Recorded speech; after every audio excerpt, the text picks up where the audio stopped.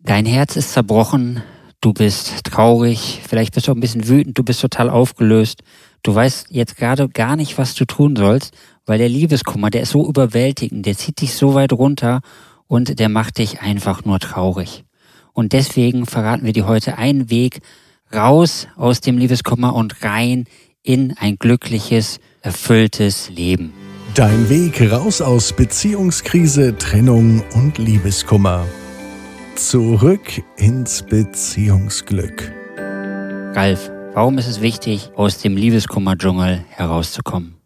Weißt du, du hast Liebeskummer und du merkst selber, dass es auf alle anderen Lebensbereiche überstrahlt. Du hast nicht mehr die richtige Energie, dieselbe Energie, wenn du dich mit deinen Freunden triffst. Deine Hobbys machen nur noch halb so viel Spaß. Auf dem Job kriegst du nur noch ein bisschen was geregelt. Eigentlich sind deine Gedanken permanent woanders.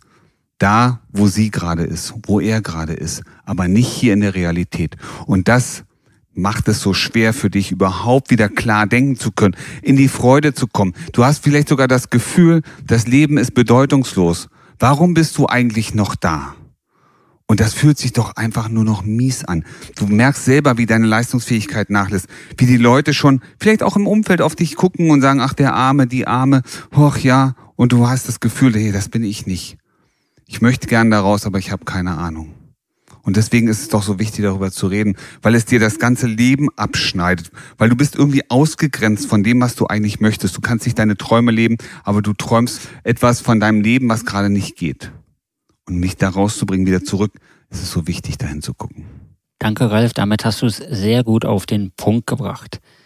Was hast du uns denn heute mitgebracht als Strategie oder als Herangehensweise, wie wir denn aus dem Liebeskummer-Dschungel herauskommen? Naja, auf jeden Fall etwas, was schnell gehen kann, wenn du bereit bist, letztendlich auch die Dinge umzusetzen und das anzupacken. Und du weißt selber, schau mal, es geht, fällt uns manchmal so, es fällt dir vielleicht auch so einfach. Ja, auch mal sich einfach, dich einfach mal scheiße zu fühlen. Ich sag das Wort jetzt hier mit SCH. Ich weiß, das würden sich manche nicht trauen. Ich mach das jetzt einfach mal. Du fühlst dich einfach mies. Und irgendwie hast du das Gefühl, es fühlt sich aber auch manchmal ganz gut an, jetzt gerade so alles so im Boden zu versinken weil es gerade auch so ist. Das Gefühl ist so, die Situation ist so und du willst dahin. Und das, was ich mitgebracht habe, ist eine schnelle Strategie, ein schnelles Thema, wie du wieder rauskommen kannst. Wenn du denn dann bereit bist, auch den Schritt nach draußen zu gehen. Und das bedarf letztendlich vielleicht auch mal vorher ein bisschen Trauer, auch ein bisschen Leiden. Manchmal dürfen wir auch leiden. Auch wir Kerle dürfen leiden, nicht nur die Frauen.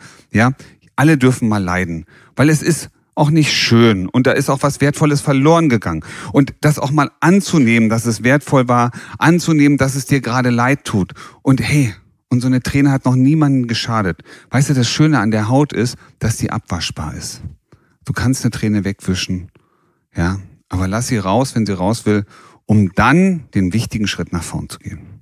Danke, Ralf. Ich glaube, das motiviert den einen oder anderen oder die ein oder andere doch vielleicht mal sich die Zeit für sich zu nehmen. Darf ich leiden? Wie lange darf es mir scheiße gehen, bevor ich deine Technik einsetze? Naja, irgendwann wirst du merken, dass du einfach keinen Bock mehr hast, dass du raus möchtest aus diesem Elend. Weißt du, wenn du zwei Wochen brauchst, um zu leiden, wenn du drei Wochen brauchst, ist in Ordnung. Ja, es hängt ja auch immer davon ab, wie, wie lang ging die Beziehung, wie intensiv war die Beziehung auch und ja, wie wertvoll war sie auch für dich? Die Frage ist halt, wo willst du bleiben? Möchtest du in diesem Elend verharren? Ja, verweile doch, du bist so schön, oh Elend. Oder sagst du dir selber, ich möchte hier raus?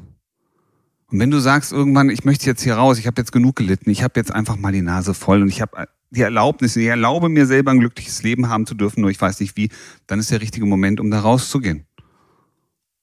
Ja, um die Dinge umzusetzen, die dich auch befähigen, da rauszukommen. Okay, meine Trennung ist jetzt schon ein bisschen her und der gröbste Schmerz ist vergangen. Dann verrat mir doch bitte mal jetzt, wie ich diesen elenden Liebeskummer loswerde. Weißt du, ich, ich habe mal ein, ein, Buch geschrieben zum Thema, ja, wie kommt man aus Liebeskummer raus und was sind die Hauptursachen von Liebeskummer? Und es gibt drei wichtige Dinge. Und die, auf die darfst du jetzt auch schauen. Und zum einen ist es mal so, die Gedanken, die Bilder aus der Vergangenheit, die haben einen großen, großen Einfluss darauf, wie es dir heute geht. Und wenn du gerade Liebeskummer hast und du schaust mal zurück, was sind denn die Bilder, die du siehst? Siehst du die Bilder, in denen ihr euch verstanden habt und denen es euch wundervoll ging, in denen ihr die Zeit genossen habt Oder siehst du die Momente, wo ihr gestritten habt, wo du dir selber sagst, ich will nicht mehr, ich kann nicht mehr, das ist mir alles so anstrengend? Was sind denn die Bilder? Und Hand aufs Herz, du guckst doch auf die schönen Momente. Du schaust auf die schönen Momente und machst dir klar, dass diese Momente, die, die du da gerade siehst, nicht mehr funktionieren, dass sie nicht mehr möglich sind. Du redest dir ein, das geht nicht mehr, ich werde nie wieder so glücklich sein. Du redest dir selber ein, dass dein Leben mit diesen Bildern einzig und allein der Vergangenheit angehört. Ja. Stop it. Stop it. Hör auf damit. Hör auf, dir Bilder anzuschauen, dir selber einzureden, dass es nicht mehr geht. Wer sagt denn, dass das nicht mehr geht? Wer sagt denn, dass diese Fähigkeit, diese, diese Vergangenheit nicht nochmal Zukunft sein kann? Wer erzählt dir das? Deine Freunde? Deine Eltern? Bekannte Arbeitskollegen? Du dir selber? Hör auf damit. Ja? Mach's schnell, mach's kurz, hör auf mit diesen Bildern, hör auf damit dir das einzureden. Frag dich doch viel lieber, was muss ich tun, was müsste passieren, damit ich das wieder erleben kann. Erlaube dir, dass du auch solche Bilder in Zukunft haben darfst. Nee, nee, nee, nee, nee, warte mal, warte mal, warte mal. Also, wie stop it? Ich kann doch jetzt nicht einfach, ich kann doch nicht einfach aufhören. Stop it. Was soll denn stop it? Also wenn, wenn es doch so einfach wäre, das wird doch jeder machen. Weißt du, wir haben in der Sekunde, das ist total faszinierend. Und jetzt mal, setz dich mal hin, lass das mal auf dich wirken. Pro Sekunde nimmst du Daten mit 800 Millionen Bits pro Sekunde auf. Pro Sekunde nimmst du Informationen auf, visuell gehört 800 Millionen Mbits pro Sekunde. Das ist eine riesen Datenflut. Die kommt auf dich zu. Das Verrückte ist, dass dein Gehirn nur 2500 davon tatsächlich real verarbeiten kann. Das heißt, wenn du dir einen Bildschirm nimmst, ja, nimm deinen Fernseher zu Hause. Ist jetzt vollkommen egal, ob der 42 oder 52 Zoll hat. Und du nimmst deinen Daumen und hältst ihn irgendwo dahin. Das ist der Bereich, auf den du gerade guckst. Das ist das, was du gerade machst. Du guckst nach hinten und siehst nur diesen einen kleinen Bereich deines Lebens, der nicht mehr funktionieren soll weil deine Aufmerksamkeit genau auf diesen Moment geht. Was glaubst du, was nicht mehr geht? Und damit verschließt du dich vor all den anderen Millionen von Möglichkeiten. Du hast die Wahl. Also höre auf, dir solche Bilder zu machen, sondern fange an, dir andere Bilder zu machen. Also wenn du es so erklärst, macht es schon deutlich mehr Sinn.